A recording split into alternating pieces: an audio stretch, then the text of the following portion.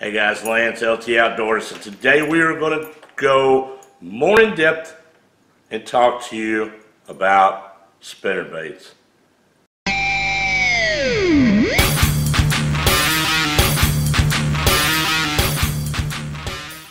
Hey guys, LT back here. Today our topic is going to be about spinner baits.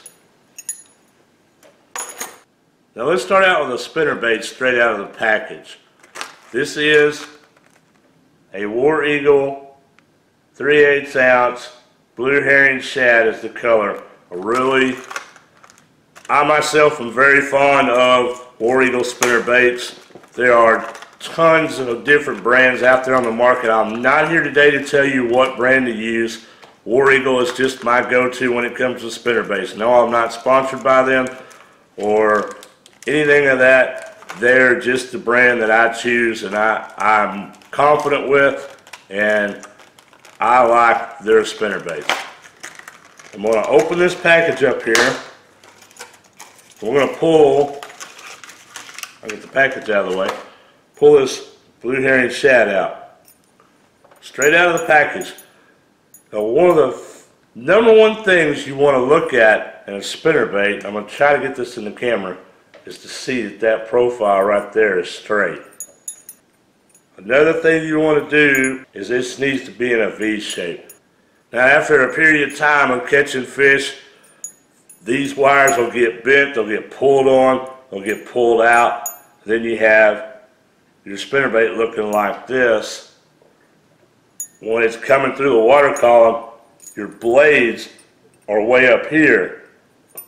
Alright, and what that's going to do is that's going to make it track funny. So an easy fix to that is just take your wire right here and clamp back down on it.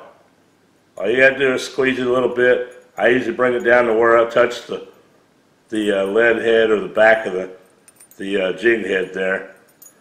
And look there, it's pretty much right back in its same form. One other thing you really want to look at, you see now that's already just bent out of, kilt, out of kilter just a little bit. If it's bent side to side, what that's going to do, that's going to change its presentation. A normal spinner bait's going to track along, and these blades are going to be right here. And it's basically going to move straight in the water column.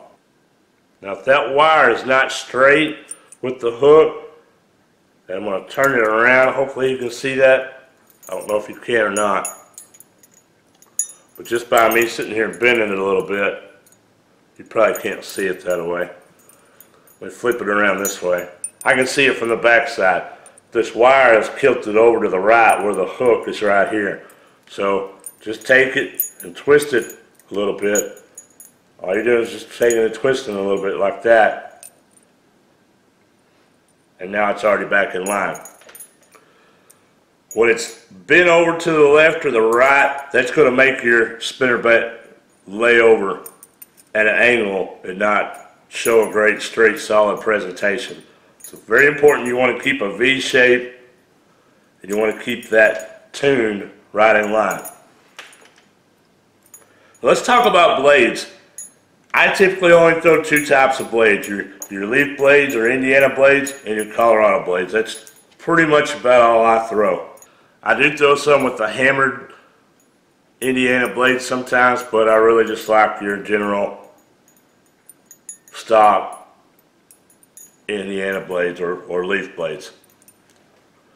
Now, when the water is when the water is stained or dirty, or it's a very high overcast day, a lot of times I'll go to your Colorado blades. Or at night as well. One of my biggest go-tos is this one right here by War Eagle. I don't even remember the name of it. I'm sure it has an exact name, but you can see the colors in there. Black and red. It's got the single Colorado darker color blade. I mean, you can tell. You can probably see that's been through the water a little bit. It's a little worn. And look at my jig head right there. It's a little beat up. I don't know if you can see that or not. Sometimes my camera's not wanting to focus here lately. But I've thrown this a little bit, and it's caught me a lot of fish. I've caught catfish on this, not trying, it just happened.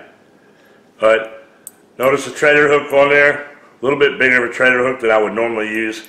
I believe that's a two or a three aught, and I'd only use a one aught.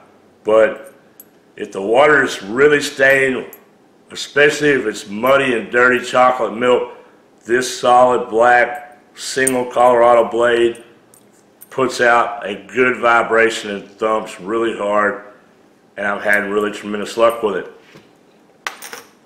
Now if it's clear water or not quite as stained, I'll generally stick to your silver, solid silver blades such as this or silver and gold. I typically will throw a 3 8 ounce to a half ounce myself due to I fish a lot of ponds and they're not quite as deep as most waters. But if I was on the lake and I wanted to get it out and throw it out and get it on the bottom, I would go to a 3 8 ounce and uh, throw that let it fall to the bottom. Once your line goes slack, pick it up and start trolling it, run it along the bottom slow. But for the most part, I'll throw a 3 8 ounce. I really like a half ounce a lot just because I like that bigger presentation of the bigger blades. I think they put off just a little more vibration and they have a little more reflection and shine in the water column. Now with it being fall time, the shad's busting. One of the great lures that Booyah Baits made is this spinner bait with the little minnow blades on it. I've caught tons and tons of fish with this. But I will throw this quite often. Notice there's not a trailer hook on there. The reason why is, and I'll throw them anywhere around wood or any kind of structure. If there's wood or structure in there, I don't want a trailer hook because you're going to get snagged and you're going to get hung up and then you're either losing your lure or you're getting aggravated trying to get it loose and it's just a pain. So it's better not to throw a spinner bait with a trailer hook around any kind of wood or heavy structure like that. For the most part, I'll stick to a white and silver or a white and silver and black such as this. I think this is just a cheap Academy brand. Heck, I don't even remember. I've had it for so long. But works really well. Had good luck with it as well. Or what did I do with it? It's probably staring me in the face it is. My number one go-to from War Eagle, the one I pulled out of the package, is the Blue Herring Shad. As far as color, in clear water with the silver blades. I'll go to a more translucent color, something that will really match the hatch and look great when it's in the water column. Now if it's just a little bit stained or dirty, fall time a sexy shad works really well. I've had really good luck with the old sexy shad color and I'll change to a silver and a gold blade. This is a small 3 8 ounce Notice the blade size on this. I'm going to try to zoom this up here. I believe that's a number two and number three blade. Here's something else I will do that will help you tremendously when it comes to throwing spinner baits. Now I'm no professional by any means, but I will tell you this, spinner baits have been out for many, many years. It was probably one of my first artificial lures to ever throw besides a plastic worm when I was a teenager. And it has really truly been a staple in my tackle box and one of my all-time favorites for many years. I just like it just because it's such a versatile lure and I've caught tons of fish with them. And I've had friends that say, oh, spinner baits, they're for rookies. Well, I've uh, caught some decent fish on spinner baits. That's all I can say. Now, I want to talk about blade size. Blade size will make your spinnerbait fishing change, I promise you. This little sexy shad 3 8 ounce here, I'll get the blade to sit still. It's got a, I believe it's a number two and a number three size blade. But if you're throwing a spinnerbait with smaller blades and you feel like it's tracking slow and you're sitting there burning, cranking and whining, cranking and whining, burning the crap out of it, and you feel like it's still tracking too slow in the water, Get you some spare blades and go up one size on a blade. Now another thing I will do if I want to slow it down, once your shad stops busting Once they start going from that fall to the winter transition and they start to slow down, I will go with a number five blade. Now what that will do is, is that will slow it down quite a bit, which I don't mind myself. I like throwing, it you know, if they're lethargic and they've slowed down, especially they'll do it with the way we've had up and down temperatures here recently in Texas, where I live. I'll throw the bigger blades on, throw it out, and let it drop to the bottom, and sit there and let it just slow crank it and let it run through the through the bottom, let it through, go through the submerged grass and feel it bump and hit things as it comes across the bottom. Then if I'm not catching nothing, I'll pick it up and I'll start running a little faster. When you're throwing like a 3 eighths or even a half ounce with these uh, smaller blades in the fall time, is sometimes when you're throwing, say, a buzz bait, for instance, or even a whopper plopper, and you're casting and casting and casting, and you're not you're not catching any fish on a top water, but you can see the fish moving around real close to the top of the surface. I mean, I'll grab a spinnerbait in a heartbeat, throw it out, and keep it just right underneath that water column, right underneath the, the top of the water column, and usually they'll freaking hammer that spinnerbait. Now, one thing real quick I want to show you, and that is a trailer hook. If you don't have a trailer hook on a spinnerbait, I'm sorry, you're crazy. The only time I will not have a trailer hook on a spinnerbait is when I'm throwing around wood and structure. Now there's two ways you can do this, and I'm going to show you both ways for the trailer hook. What? There's two different ways you can do a trailer hook? Yep. Now, you take and you put your little plastic guard right here, little tubing that comes with your pack of trailer hooks, put it around your hook. And what you want to do, it's really not rocket science guys, but there are a few guys that I know watch my channel that haven't ever done this before and have asked me to talk more about this. And sometimes it can be a pain getting it right through there at first. I really don't want to stab myself with this hook. That's one reason why I like the War Eagle spinner baits because they use ultra sharp mustad hooks. So, as you can see here, there it is. Trailer hooks on there, okay?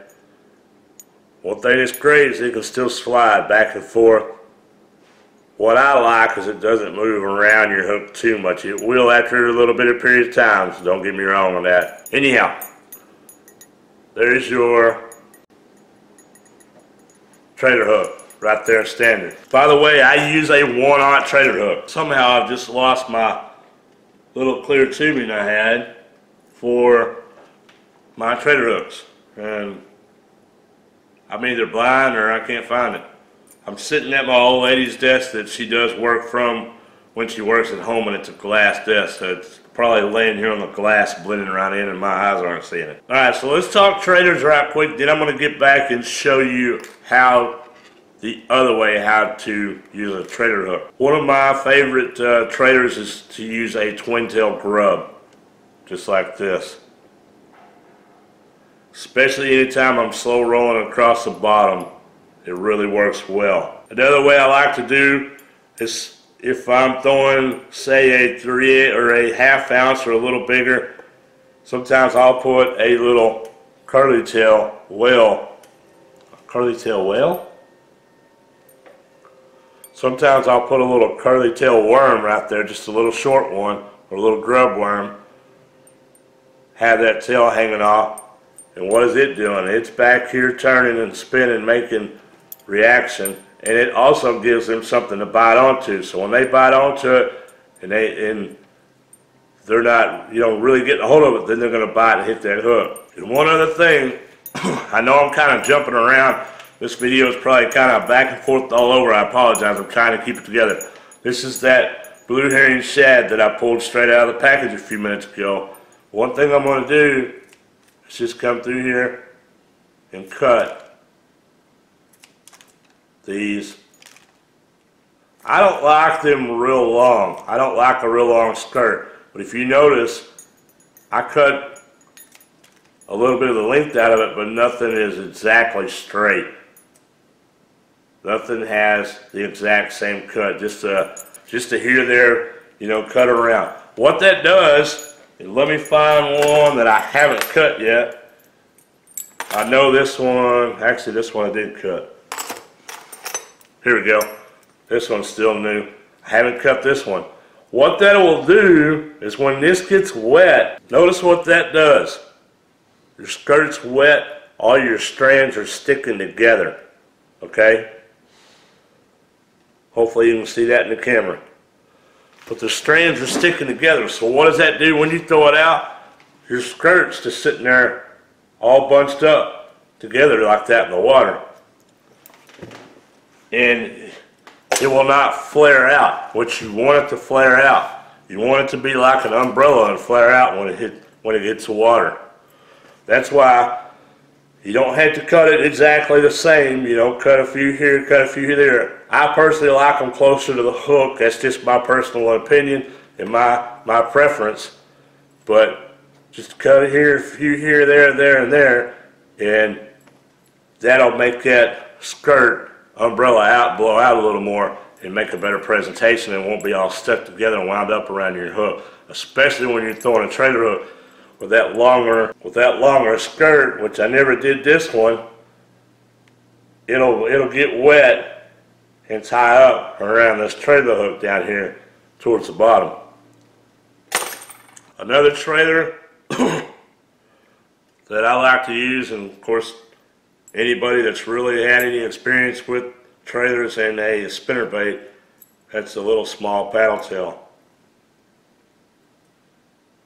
what I'll do, I'll take this little bitty Berkley Havoc. I think this is a three.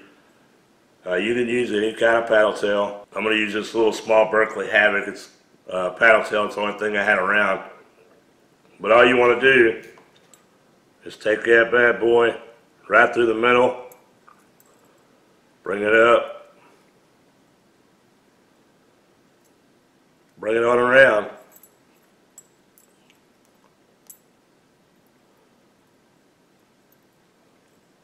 suck it up to that point. This isn't going to be perfect because I'm in a hurry. But Lance, that's backwards. I'm sorry, I think that makes better action. But it's on there. Works really well. Now, I'm going to show you one other thing I like to do with the spinner bait. And what I'm going to do is I'm going to take this skirt I'm going to slide it back. Now, Notice how easy that was to pull right off. Okay. Now I can change my color skirt out. This is just a single Colorado blade, but now you've got a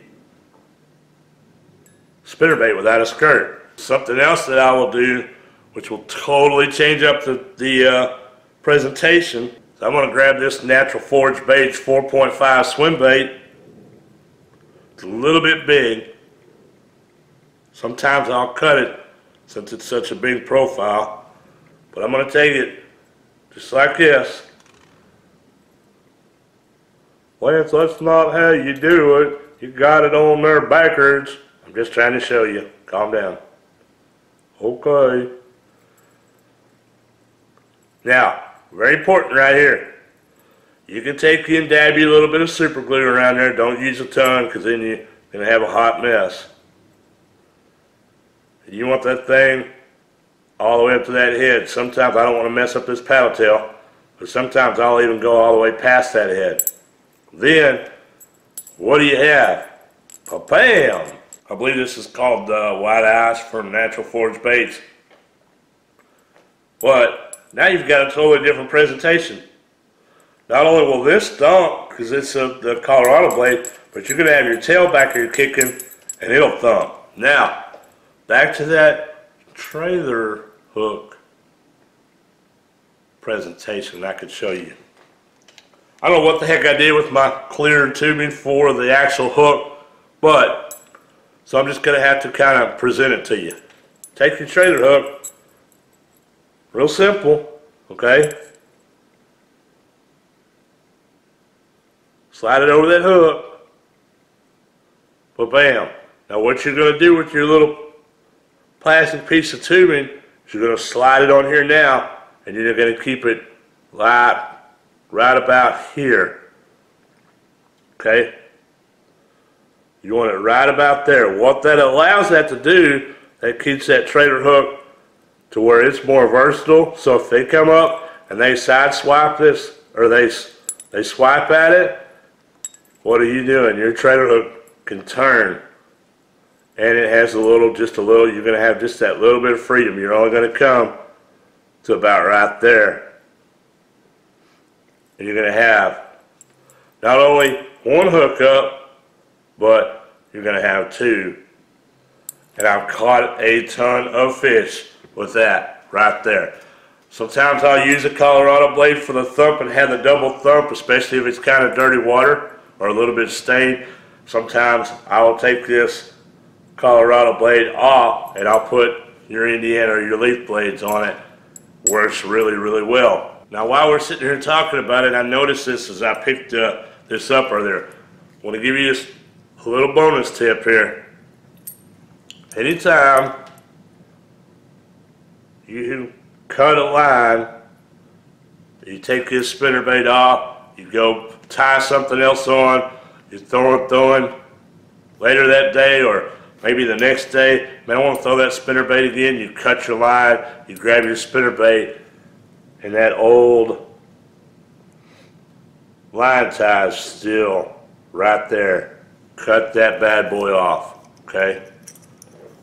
Take your, take your scissors, take your pliers, take your knife, your cutters, whatever, clip that bad boy off. Reason being is that little line tie being on right there, when you tie your other line on there, it's going to put pressure against that line and it'll cause you to break your line real easy. But anyhow guys, get you some trailers. There's all kinds of trailers. We could sit here for the next two or three hours. Twin tail grubs. I usually like the white ones. Uh, a speed crawl, solid white, or a green pumpkin, or a dark, you know, black and blue if it's, you know, dirty stained water. Get you an assortment of blades. I really suggest getting the number five. The number five size blades work really well. But get you some number fives, some number fours, and number threes in your leaf blades. A couple different ones in Colorado blades and change them out and work with your presentations. I promise you it will help you catch more bass and you'll enjoy a spinnerbait much, much more. Anyhow, guys, that's all I've got today. As always, if you like this video, please give me a thumbs up. It helps the channel. It helps my videos. If you're new to my channel and you like what you saw today, make sure you hit that subscribe button below. As always, thanks for watching, and I hope you have a great day.